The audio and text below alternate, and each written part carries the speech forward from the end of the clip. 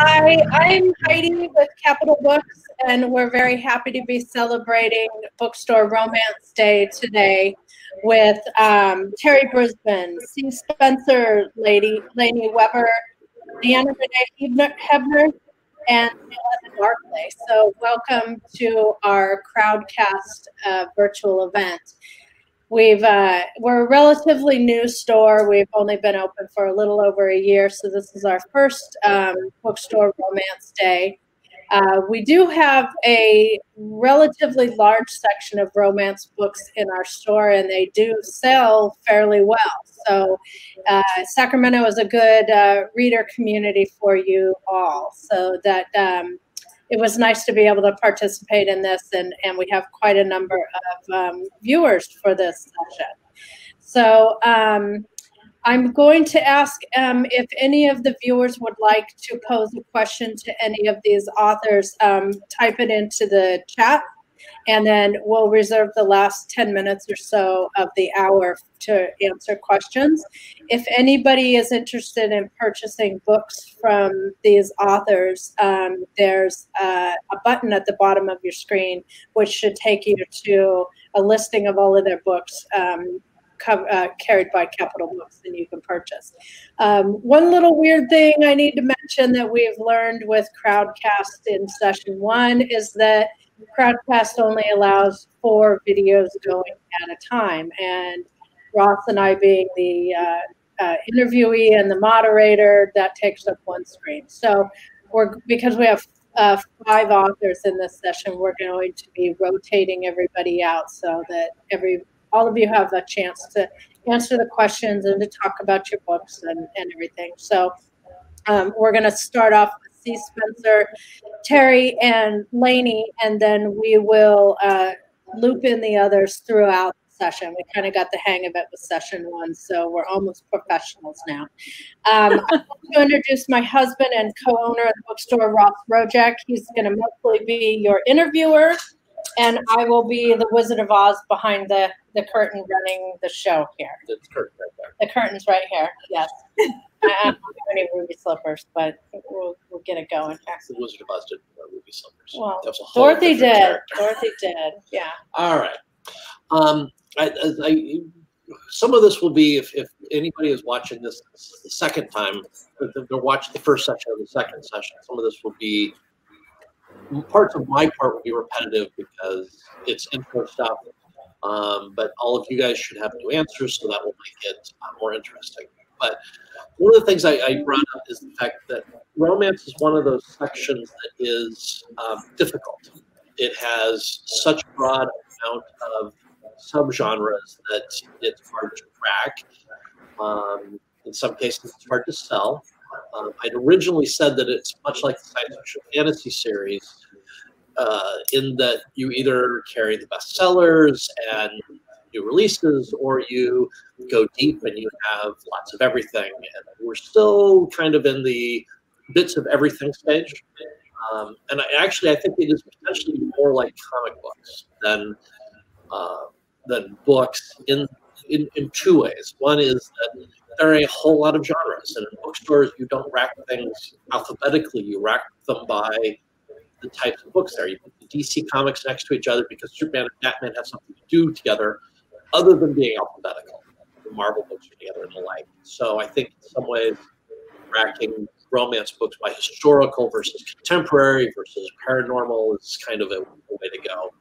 Um, the other part to it is, is that, um, and, the, the reason why things like you know romance bookstore day happen is because it's still in some ways ghettoized.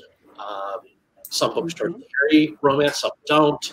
Um, I spent years in comic book stores trying to get normal people to come in to buy what I felt were good graphic novels that you know you could read like a novel, and it's hard.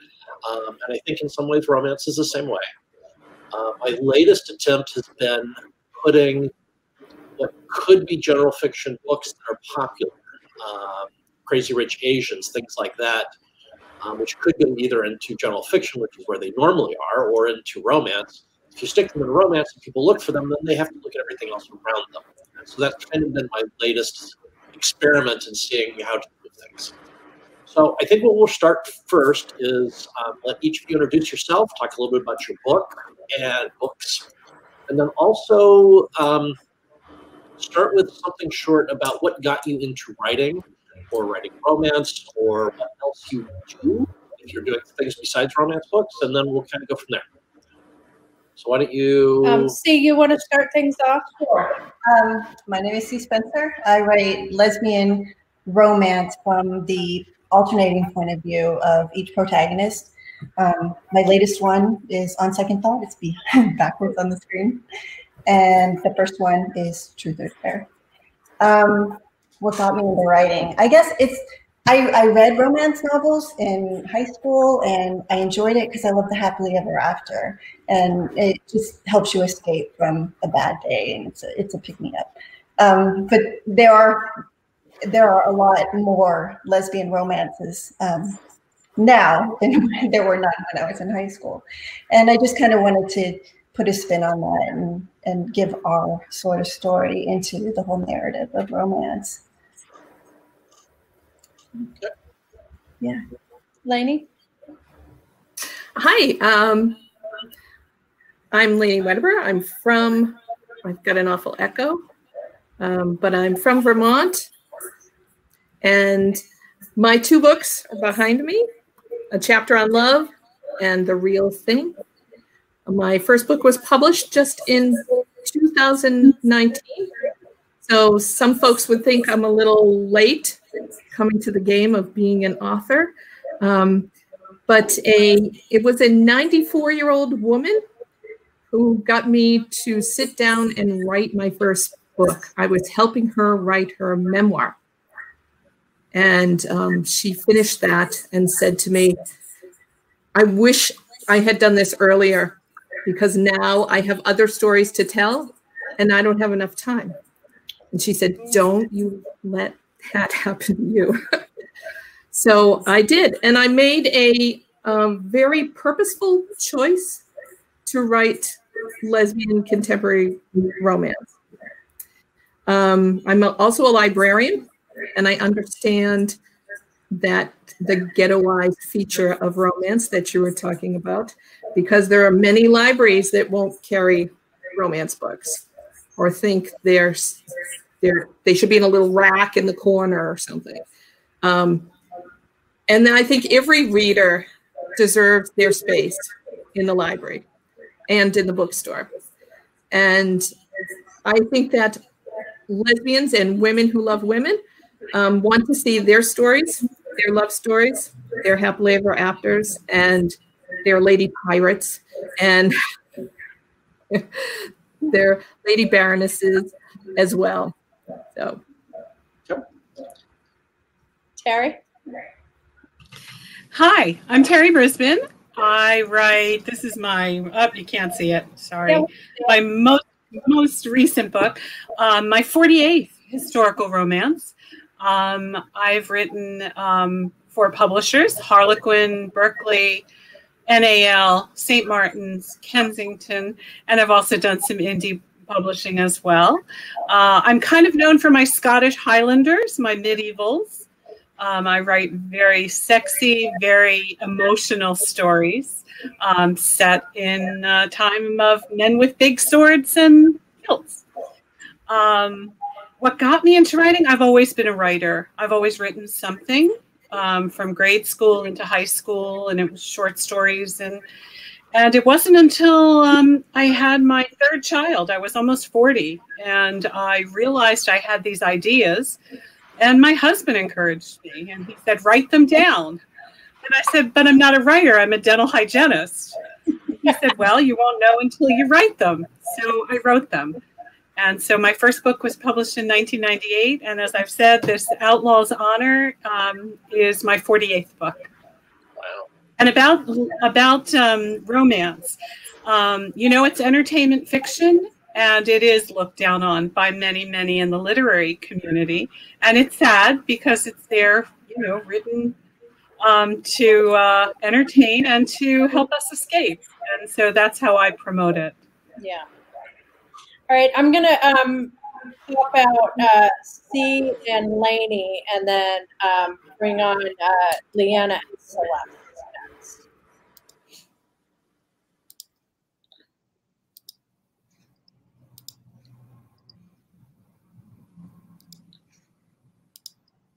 that's last. I hope so. I hope that's Just put somebody random on the screen. somebody you know. random. That could be bad. Could be very bad. Waiting for technology to catch up here. I found I clicked too fast and missed the prompts and oh. didn't let them Okay. work. It says that they are accepting. There's One. Leanna. Hi, Leanna. Hi, friends. So did you hear the I did hear the question about what got us into writing. Are you able to hear me? Yep, you sound great. Great. So, um, I write gothic gas lamp fantasy with romantic elements. So my my latest series with Kensington is uh, it's a little hard to see here the Spectral City series. Sorry for the glare. So um, the latest book in this particular series is A Summoning of Souls. And what I do is very cross genre. So when you guys are talking about genre and sort of the difficult places to how do you get readers to to come into your genre fiction for me it's very cross genre because i grew up reading victorian set novels and fantasy novels and gothic novels and i wanted to um, honestly uh, put all of those genres into what i do so um, i love a good happy ending but i also really love a good slow burn happy ending so um, especially in the case of my Spectral City series. Uh, it takes until the third book for them to actually admit their feelings. And I'm a huge fan of that aching in a lot of traditional, you know, old school stories, especially if you're dealing with a time period where you didn't rush a courtship. And my characters are from interfaith backgrounds. I have a Jewish hero and I have a relatively default Protestant heroine. And she's trying to understand and make sure that she respects his culture. It's New York City, it's 1899. Uh, it's a hugely diverse city. I'm a New York City tour guide. The great thing I love about writing in New York is the diversity. So I wanted to write a, a multi cast um, dynamic. Oh, I think my, my picture just went down for a second. You're, You're, back. still good. Okay, I'm, I guess I'm back. Okay, so yeah, so um, all this to say, um, I I love writing uh, a diverse cast of characters who come together to save the day. And so while there is romance in my stories, there's also fantasy because in the Spectral City series, I have the Ghost Precinct, which is a group of psychic detectives. So I wanted to write a paranormal procedural with, with romantic elements and lots of ghost stories. So there we have it. We have Celeste here. Yay, you made it on. Yay! Yep, I'm trying to adjust the uh, lighting around me so that you can see me. There we go. I think that's a little bit better. Yeah. Um, I'm Celeste Barclay, and I am in San Diego. Um, I grew up in the Midwest in St. Louis, spent a lot of time on the East Coast. I am an East Coaster living on the West Coast, so that makes for some interesting times. I'm a little more let go than some of my California friends but I am also what I call a recovering teacher. I spent 15 years teaching high school and middle school English and social studies. So, being a historical romance author and particularly focusing, much like Terri, on Highlanders, it has definitely allowed me to take a lot of that information that has been percolating in there that my middle school and high school students don't always care about and actually funnel it somewhere. So, as I said, I am a historical romance author. I have a Viking series called Viking Glory. I have a Highlander series, well, two of them actually. This is one of them This one is from the Highland Ladies. My other series is the Clan Sinclair. And then I have a pirate series called Pirates of the Isles. Um, I have always been an avid reader. I mean, I don't think that comes as a surprise to most people. If you're logged on here, you are too. Um, but I did a lot of academic writing, and that's kind of stuffy and not very entertaining. But that's how I started out. And I was actually recovering from surgery a few years ago. And I was like, I cannot watch another episode of The Big Bang Theory. I have got to find something else to do. I spent hours watching it on TV while I was recuperating. So I thought to myself, you know, let's just give this a go. Let's take a look. I want something light that I don't have to really struggle to follow, like Dan Brown series. I don't want to figure out who the murderer is and the villain. I want to enjoy myself. So I started reading, and one book led to about 500, which led to about a thousand probably by now. And in the summer of 2017, I thought to myself, you write a lot, but you write boring stuff. How about you write something entertaining and fun and enjoyable? And so I started, um, and I started writing that summer. And life happened, school started again, um, you know, just got carried away with the everyday. But around January, I decided I was going to go back to it and I was going to finish. I'm a very task oriented person. So, long story short, my first book came out April 2018, and my 21st book out on Monday of next week. So I definitely have kept myself busy. I left the classroom um, a little while ago, so I am now a full time author, and I love it. I find writing really cathartic. Um, I enjoy the escapism that it provides me, and my hope is that my stories provide some escapism. We have countless hours to deal with reality. It's nice to every once in a while put that aside, hopefully, believe you're part of the story, and just enjoy and let life happen around you. So that's my deal. Are you, are you glad that you're not a teacher in COVID times? Boy, you want to go for the loaded questions right off the bat, don't you? I have a um, new teacher friend. Yeah, I mean, I, I mean, I don't envy them by any means. Um, I've politely told them, please don't request that I come and substitute in your class because I'm not going to. I have two teenage sons who are going to be home again. Um, and I I can get very wrapped up in this topic. So suffice it to say, be nice to your kids' teachers. They're doing the best they can. Okay. It's not an easy situation for anybody. Have some patience, give them a chance, and please don't assume it's going to fail before they start. Yeah. Yeah. All right. So I we have a we have a really diverse mix. The, pre, the first session was all mostly contemporary romance people, and now we have kind of a better. But some of the things I'm interested in, to start by asking to your traditional or um, independently published how have you worked with local stores? How have you worked with independent bookstores as opposed to selling online versus going through distribution and, and chain stores? Um, and and how have your how is it how has your successes and failures been working with with indie stores? Let's start with Terri. Oh, sure. Um, well, I learned very early in my career. Um, we were part of NAIBA, which was the New Atlantic Independent Booksellers Organization, and my local romance writers worked very closely with them, attended their events, presented to different stores. So I've been in touch with a number of indie stores in my area. We've just actually had two more open recently they're not really romance friendly, so I'm working on that.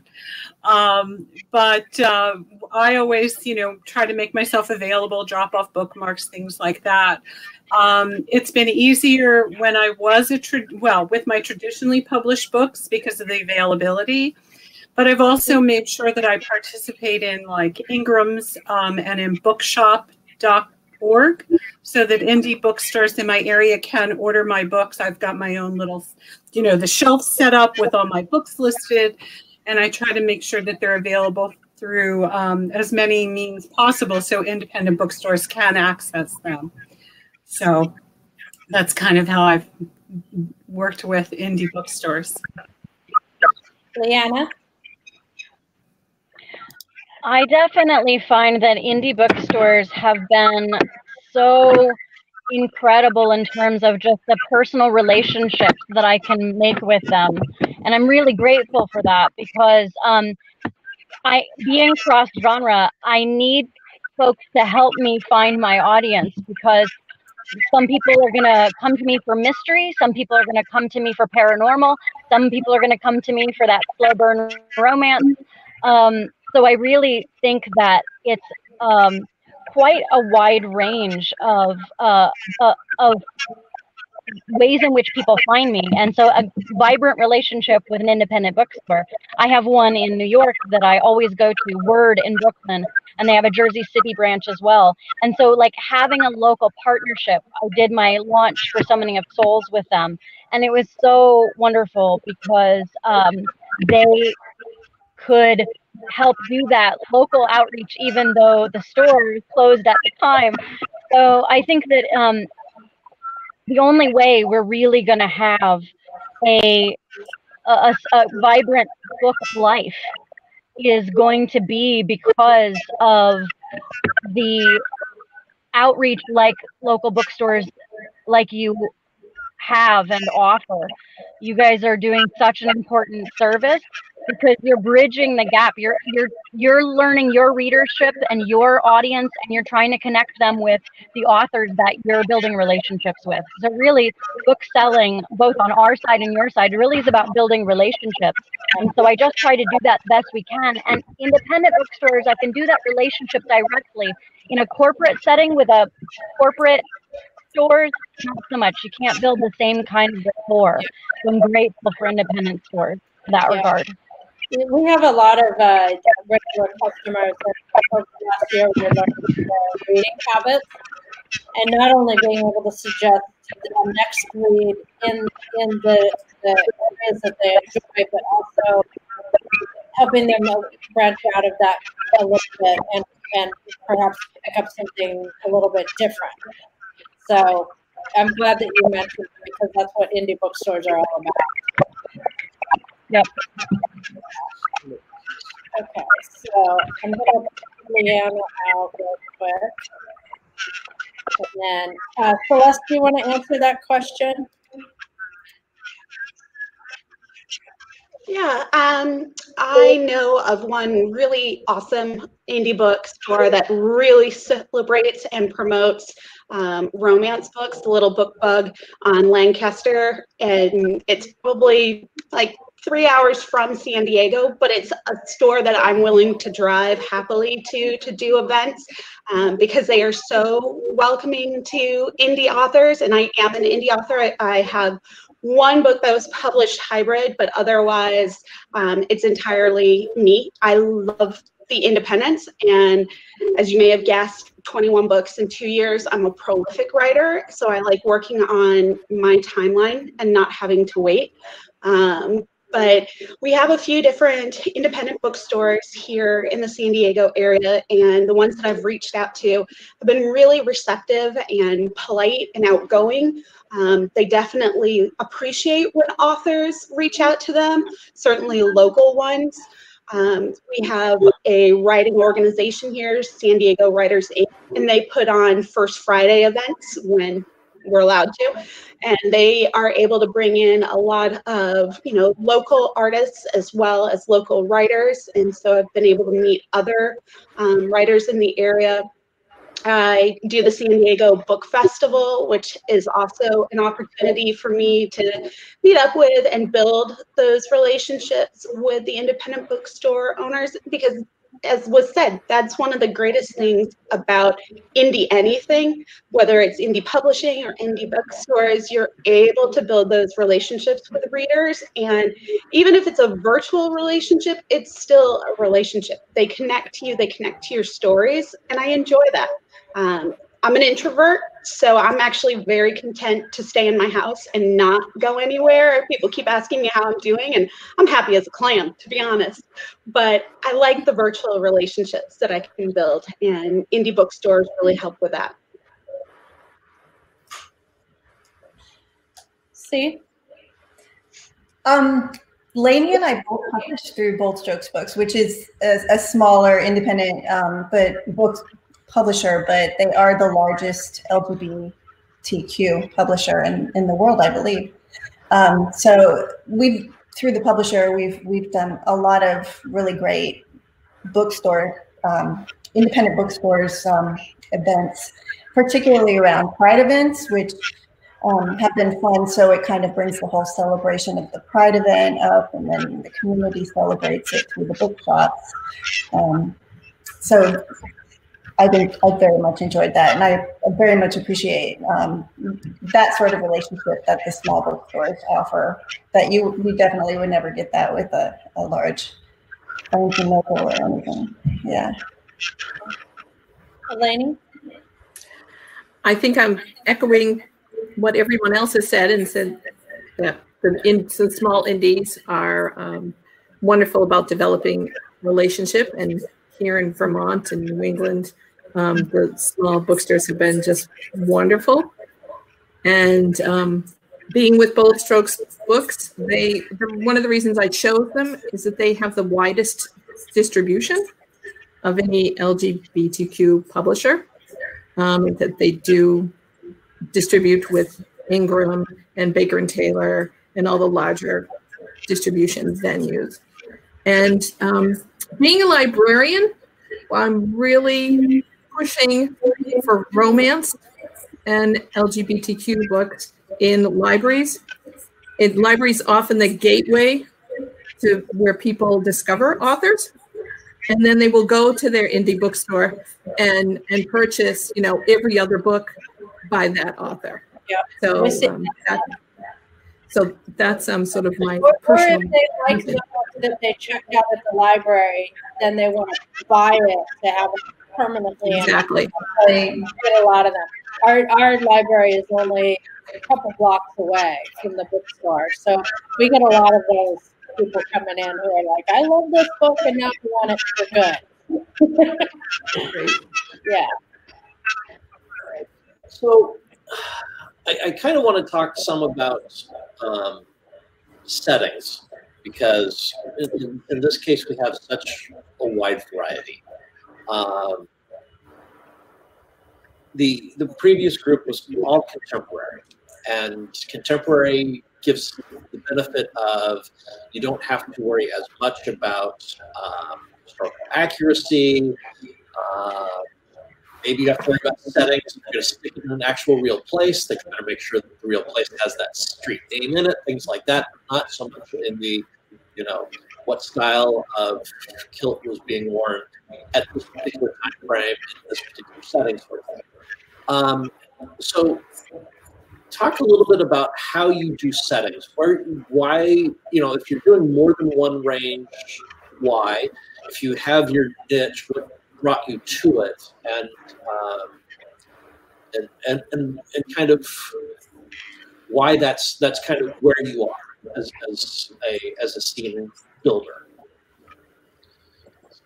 Celeste, you want to start? Sure. Um, like I said before, I am a recovering social studies teacher, so there is a ton of information rattling around in my head. Um, my mother's English. I grew up reading um, English literature more than anything else. So writing um, stories that are set in Great Britain make it pretty easy for me. I'm familiar with a lot of the locations, um, the vernacular, some of the phrases that I'm able to throw in there. Um, and Scotland's beautiful. It's rugged and has a rich history in of itself. Um, it's by its own nature rather a romantic place. And when you toss in, you know, the historical facts to, to add to the romantic suspense element that I have, it makes it really easy, in my opinion, to build these settings. Um, that's not to say I don't fall down the wormhole every once in a while and, you know, look at my computer and I've you know just spent an hour and a half researching what was supposed to be an easy task and ended up into some obscure detail that I might not even work into my story. But I gotta admit, I enjoy doing that. Um, I do strive for a lot of historical accuracy. Um, the one thing I am willing to throw to the window, um, because it's kind of a genre expectation, is that kilts did not come into place until well after the Middle Ages. I know, but readers, including me, enjoy an attractive man in a kilt sorry, that's what you're gonna get. Um, but with my Viking stories and my pirates as well, they are historically based. Um, I really do strive for a lot of accuracy. Every once in a while, I take some creative license and I might rearrange some of the events or kind of condense them, you know, 10 years into 10 months. But I generally include a forward in my books when I do that, kind of explaining what the real events were and why I shifted the dates. Um, but particularly in my Highlanders, all the clans are real. All the conflict between the clans is real. All the castles divided in are real. Um, the timeline is accurate, though, like I said, sometimes I kind of condense it a little bit to make the story work. But Scotland's a beautiful place, and my pirates are Scottish. Um, my Vikings have an adventure in Scotland, so I'm world building. All my series are connected, even if they're a couple centuries apart. And I suppose that having everything that you write set in Scotland means going to Scotland as a tax write-off too. Well, so I was supposed to be there for two weeks in June to celebrate my 40th birthday with my husband. So that will be next summer. Yeah, you hope. All right, uh, C.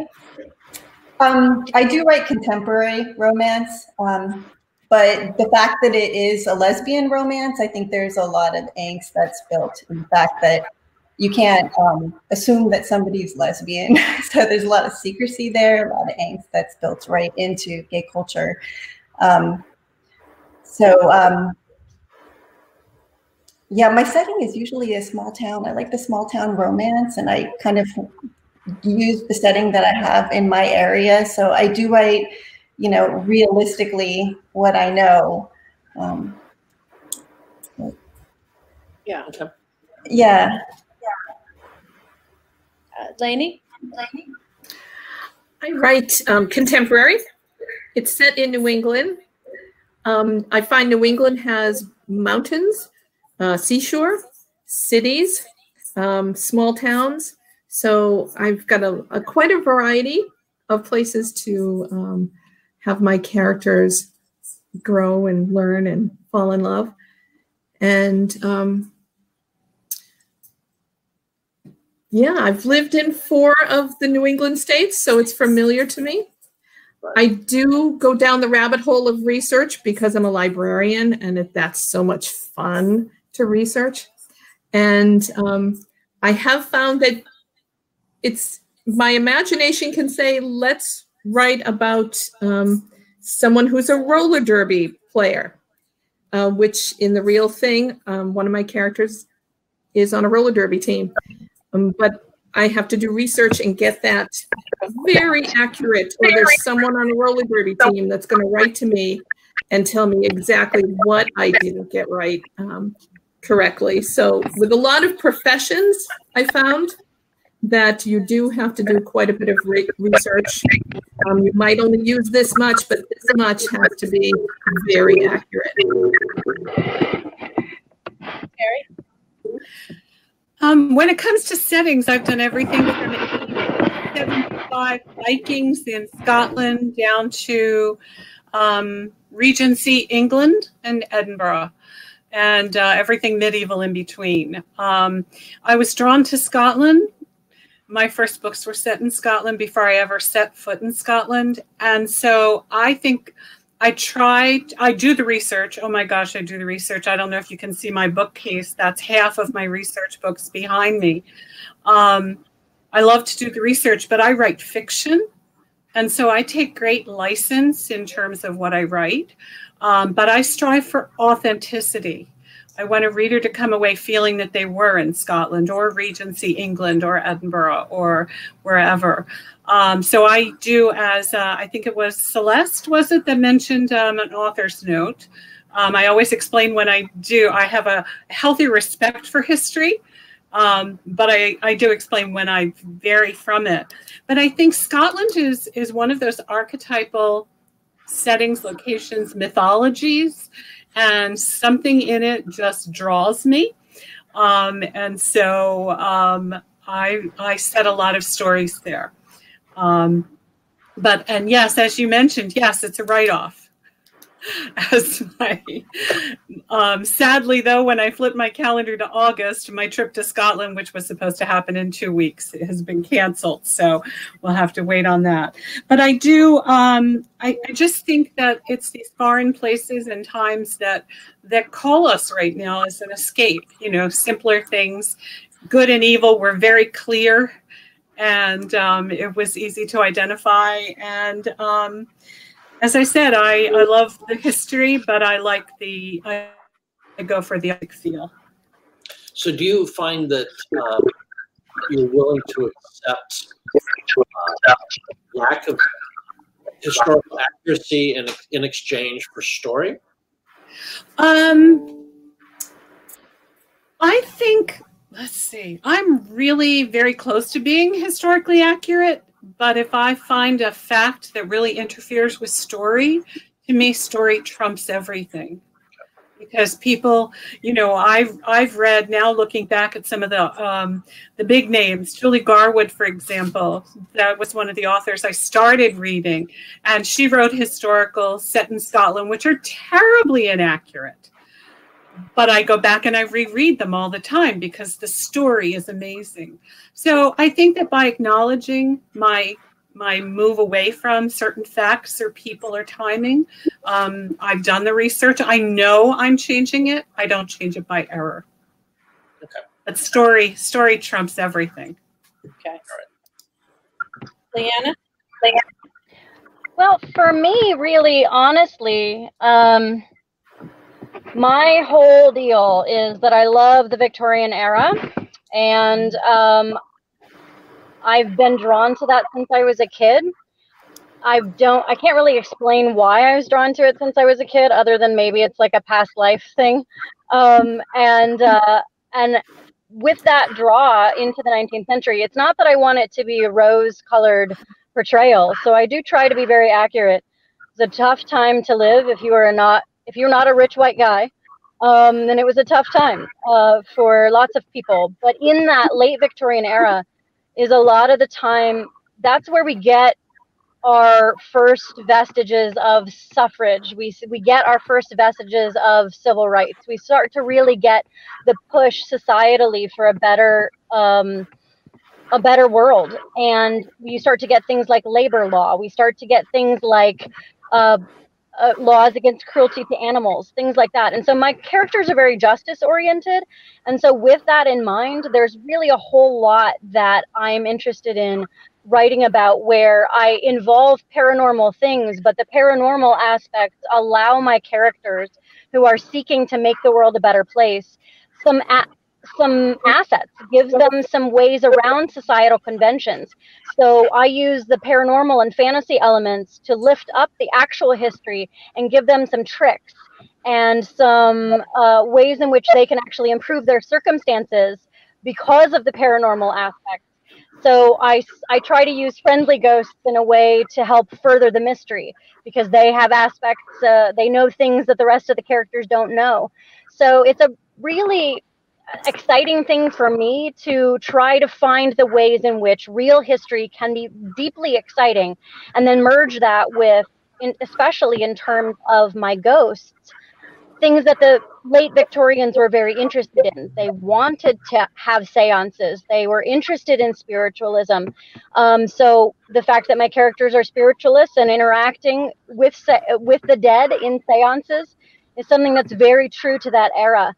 And being in New York um, is such a dynamic time to be a part of the Gilded Age in New York. There was so much dynamic things happening, and I love tapping into that as a writer. It's just been a thrilling thing uh, to find ways in which fantastical actually directly dovetails into actual history. It's really been fun.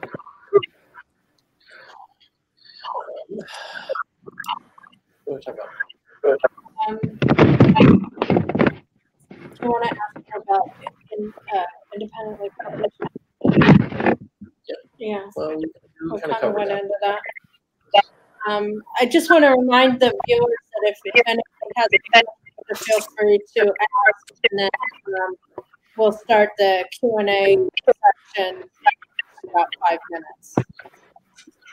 All right. So one of the questions I asked before, I don't know, uh, nobody's brought this up, so how, how have you done your marketing and done your um, uh, and, and done different platforms? I mean, are, are you focused on, I'm selling online, I've got one outlet, or are you putting it on every platform you can? Do you do audiobooks? Um, kind of how, how are you treating this as, as the business end of publishing as opposed to the writing end of publishing? Mm-hmm. Laney, you want to start? I am not self-published. I'm with a publisher. And so the publisher handles a lot of that that end and and I voted for that because I'm also a full-time public library librarian. So I knew I didn't have time to both write and run my own business. Um, they they are they have very wide distribution. I'm not in audio yet because I'm a new, fairly new author.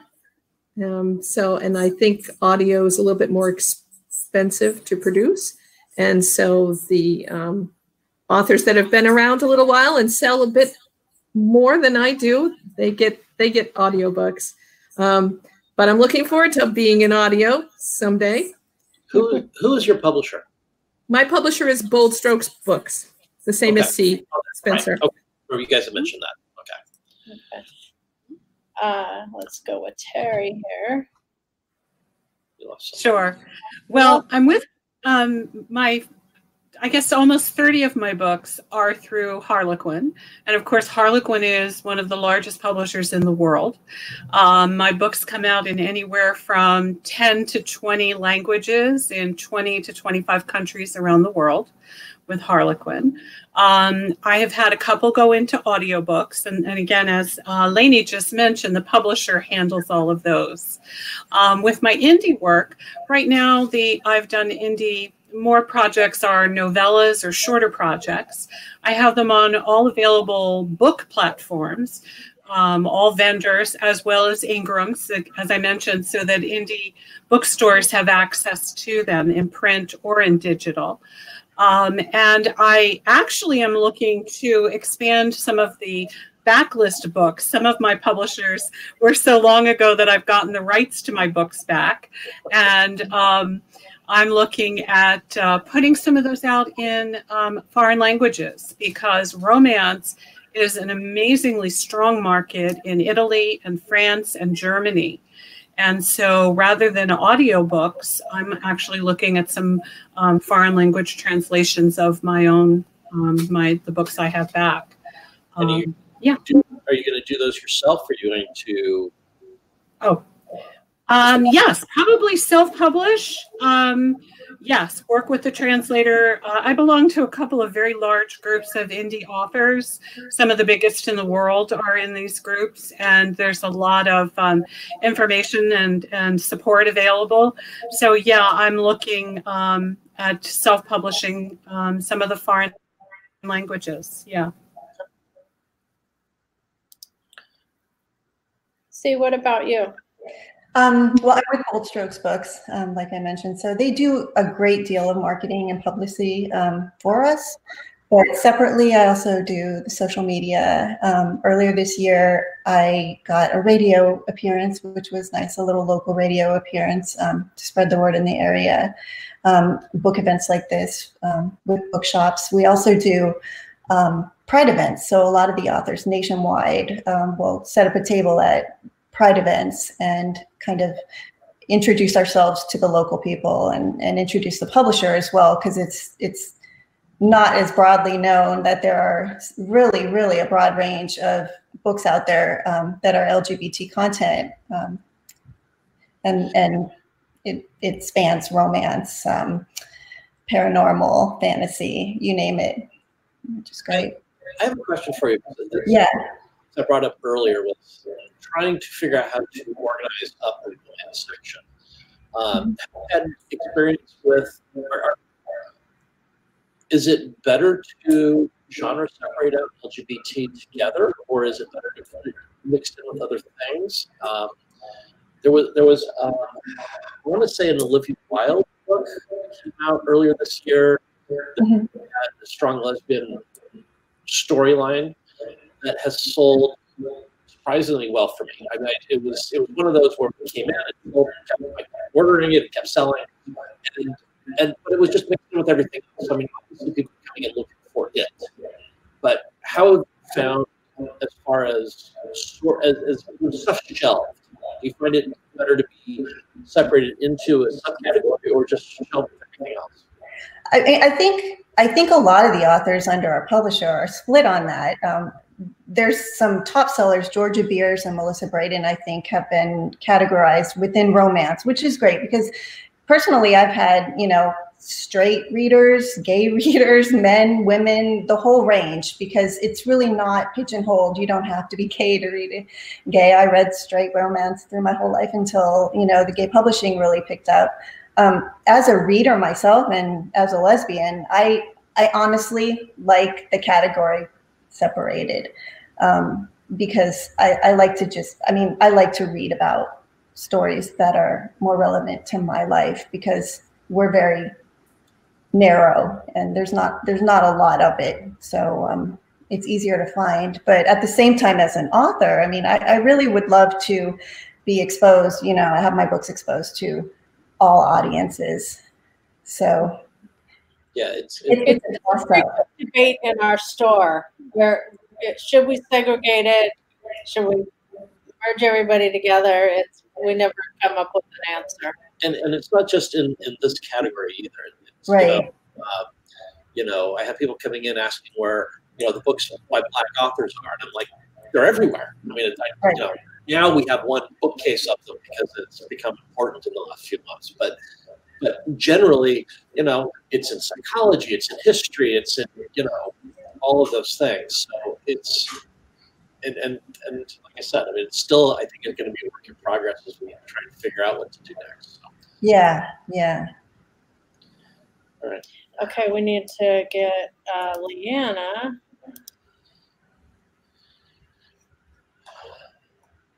Leanna, you keep popping in and out here. Can you hear us? Camera's Leanna? the camera's going on and off. Yeah, your camera's going on and off. Nope. That's weird. Okay, I'm gonna pop Leanna off and then add in, um, let's see, who do I, Celeste. Is like, it's like Wizard of Oz, I swear. Pay no attention.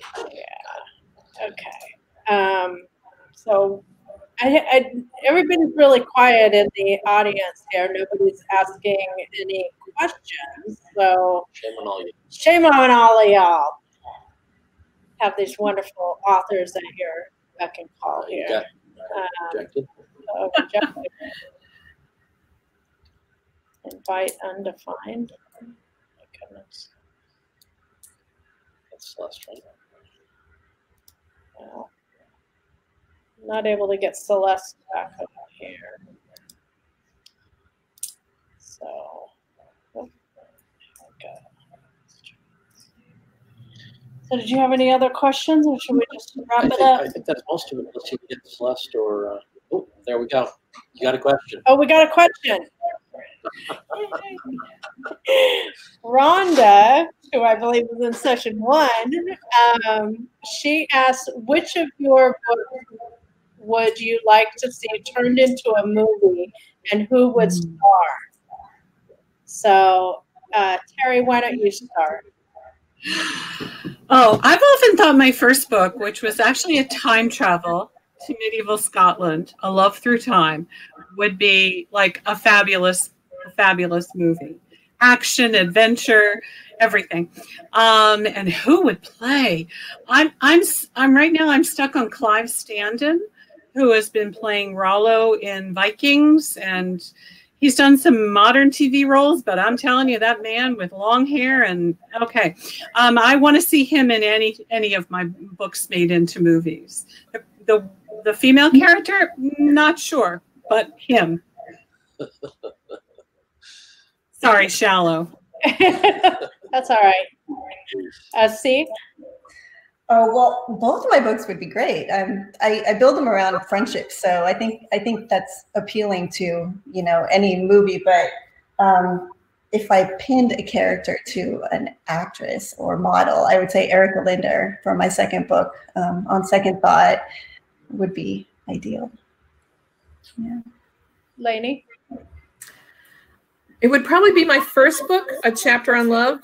It takes place, um, one of the main characters manages a used bookstore, and the other character is a forest ranger park manager. And when, as everyone else was talking, I'm like, who would I want to play with them? And I'm blanking completely on who I would like to play with them. It's a great question. So I'm going to have to come up with an answer to that if I'm ever asked it again. But um, it would definitely be the the first book, a chapter on love. Very good. Um, C- C- Celeste, uh, let's try to get her back in here. One second.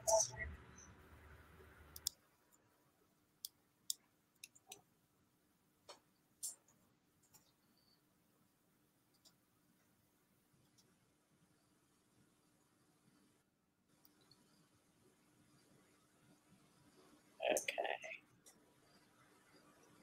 Need to be doing something entertaining, by the way. I know. The show. Puppet show. Something. no, Crowdcast needs to add more screens in here. I don't know that it's working. I'm not sure that we're gonna get Leanna back in. Um, Yeah. So anyway, um, thank you all for participating in this. And uh, next year, we hope it'll be a little bit smoother and that we won't be in COVID and maybe we can do it in person and you can come to Sacramento and enjoy this lovely 114 degree weather. oh, Well, thank you very much for inviting thank us. you for This was having us. wonderful. Celeste, do you want to answer the movie question? Um, well, Terri, you kind of stole my answer, of course. um, I would pretty much say any actor or actress from Vikings or The Last Kingdom. I would totally be down for that.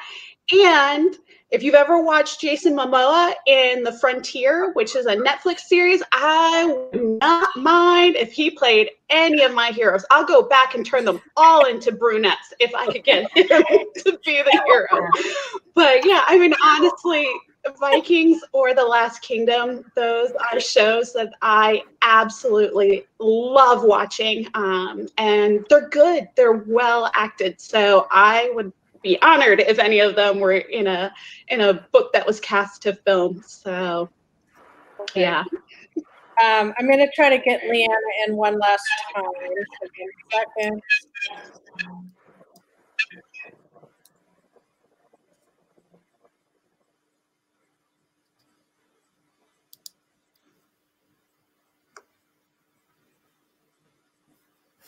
There we go.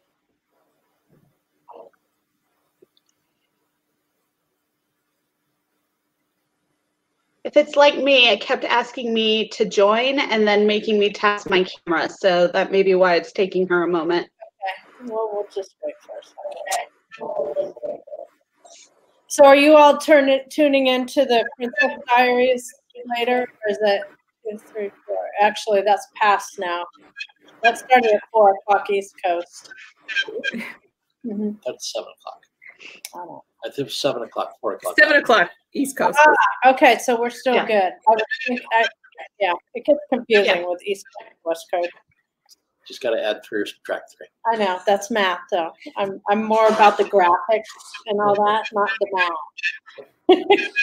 It took me forever when I moved from the East Coast to the West Coast to change. And I always had to think, okay, so which side is the ocean going to be on when I'm headed north? Is it going to be on my left or is it going to be on my right? So You know, it took me a while to be able to change over. Atlantic City, and it was evening time, and we were sitting out by the ocean, and I I asked him, "Why isn't the sun setting?" he laughed at me. He's like, "Out here, you get the sun rise. It's not like the Pacific." Ocean." it's just all weird. So, um, Leanna, do you want to answer the movie question? I would love to actually because I am a big fan of Tip- Timothée Chalamet and he's the perfect both age and ethnicity and his background would be really perfect for my hero detective Jacob Horowitz. Um, he he's just got a wonderful quality. If you remember him from Little Women, uh, Yes. the most recent adaptation of Little Women, you will remember uh, he's fantastic. So he's my perfect hero. Um, and I'm a big fan of Saoirse Ronan, um, and I think she'd be a great um, heroine uh, for. Uh, uh, it's tricky with a period piece, so you kind of want to sort of see, um, you know, if if folks have done a period piece already, how how they act in it to make sure that they've you sort of vetted them for being able to do period pieces. So both of them were so great in the uh, most recent Little Women. So I'm just stealing that cast and putting it into my book. There you go. well, that about wraps everything up. I don't see any more questions. So um, thank you all for this opportunity Thank you to very much. do you and celebrate romance authors. Thanks for today. having us. Okay. Thanks. Bye, Thank you very everyone. Thank you. Bye bye. Had a great time. Thank you.